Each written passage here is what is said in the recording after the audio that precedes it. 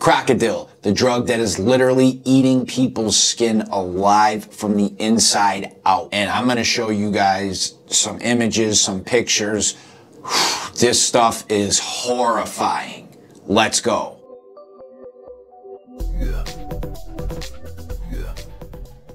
As always, Sober Dogs does not promote or condone any drug use. Please seek professional medical help if you have an addiction.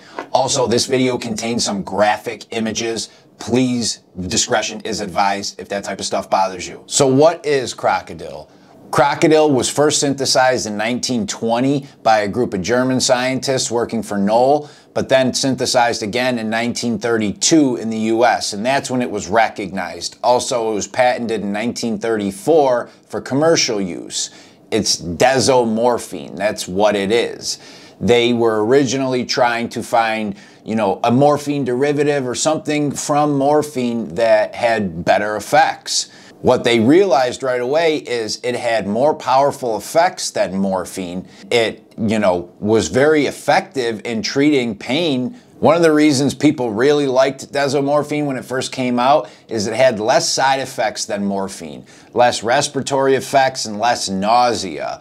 So they thought maybe this could be a great painkiller, a great new thing. What they found out very quickly was that because it was more powerful and the half-life was so much less, that the effects went away so much quicker, so it was actually a lot more addictive and people needed it more and more and more often. We hear that a lot, especially, you know, with fentanyl. Like my other videos with fentanyl. Fentanyl hits hard, hits quick, but goes away quicker, and then people need to do it more and more and more often during the day. Desomorphine is 10 to 15 times more powerful than morphine. So what exactly is crocodile? Well, crocodile is the desomorphine, which is synthesized from codeine. And people found out very early on that you could make it for cheaper and quicker than heroin. Basically, it's like the meth of cocaine. Cocaine, you know, there had to be more production in these labs and things like that. People realized, oh, we can go to the store and buy blah, blah, blah, blah, and make meth. That's what desomorphine is to heroin. People realized, oh, we could buy codeine tablets and then mix it with our own stuff, all stuff that could pretty much be bought right from the store and make their, you know, make their drug. The process takes about 10 to 45 minutes and they can create a batch of crocodile. One of the main reasons it is so dangerous and destroying people is the additives that are mixed with it to create the end product.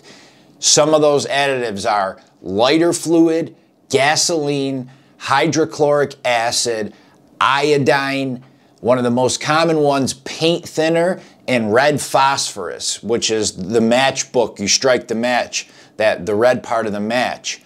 That stuff is what they're using to mix this with. I mean, I can't imagine what gasoline and paint thinner are doing to, to the skin. I mean, that's what we're gonna get into in a minute. I'm gonna show you the pictures, but oh my God, that is brutal.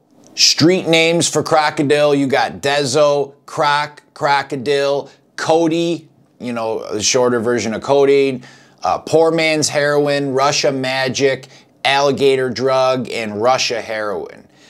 Non-users, you know, typically refer to the drug as the flesh eating drug, the zombie drug, the skin eating drug. It's just because of the damage it causes, flesh eating is actually very accurate. Why it got the name crocodile? Kind of what we just talked about. When I'm going to show you some of these pictures in a minute, I'll, I'll show you that one right now. Look what that's doing to people's skin. That is, you know, they say makes somebody look like a crocodile after their skin gets all those lesions. Crocodile's effects are similar to morphine and other opioids. Hits quick, hits hard, harder than morphine. You know, you got your respiratory depression, uh, sedation, dizziness, nausea, vomiting, constipation, mental clouding, hypertension, urinary retention. And then with crocodile, some of the awful effects. You got your gangrene, your phlebitis, you got thrombosis, both those, you know, associated with like blood clots, pneumonia, meningitis, blood infection, osteomyelitis, bone infections, liver and kidney damage. You know, from any IV use, you're going to have your HIV, AIDS, Hep C, transmission type of things, um, speech and motor skill impairment, memory loss, and then, of course, overdose and death. I can't imagine what gasoline and paint thinner are doing to, you know, brain cells and tissue and liver and kidney and lungs. Crocodile's withdrawal, very similar to other opioids, but it comes on quicker, two to three hours. When I was using heroin, the withdrawal usually came, you know, anywhere from like four to eight hours after last use, typically six, seven. Um, fentanyl, you know, three, four hours. Crocodile, it could be two to three hours. So people need to shoot up more often, and the withdrawals coming quicker from the name crocodile for what it's doing to people's skin.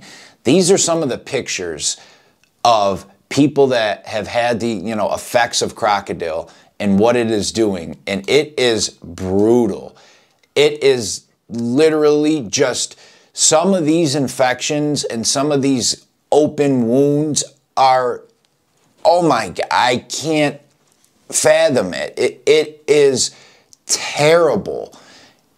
People have to get limbs amputated. People are losing entire chunks of their body.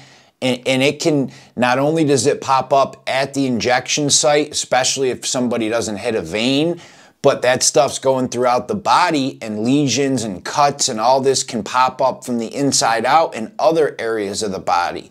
And then, of course, with that, you know, doctors and, and, and hospitals and the medical people got to cut off pieces of skin, skin grafts. Uh, this stuff is brutal what it is doing to people. One of the ways, you know, it's been described in the news is a drug that even heroin addicts are horrified of. I could see how, you know, if that's the only thing available, people are doing it. The scariest and craziest part of crocodile is people's survival rate from the first time they inject is two to three years. That is insane. If somebody injects crocodile for the first time, they are basically saying you are not going to live past two or three years because of the horrifying effects of this drug.